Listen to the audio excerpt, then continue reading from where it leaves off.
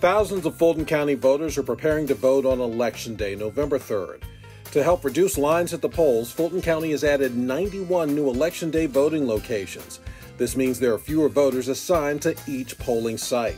Because of these new locations, thousands of voters will vote at a new site on November 3rd. So it's important that voters go to the correct polling place. Voters at the incorrect polling place will be asked to vote on a provisional ballot. So if you're planning to vote at your poll on election day, make your election day plan and know before you go. As part of your plan to vote, visit the Georgia Secretary of State's My Voter page. Once there, enter your first initial, last name, date of birth, county, and you will find the address to your election day polling site and a link to directions to get there.